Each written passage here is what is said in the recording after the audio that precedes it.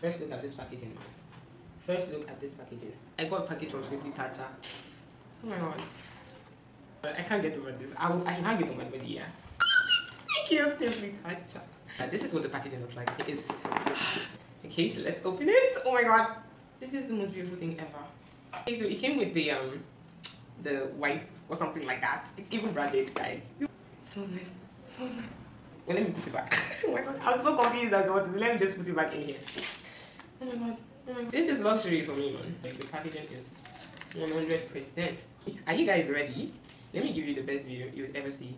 One on the, on the lens. Can you guys see it? Okay, let's take this one off.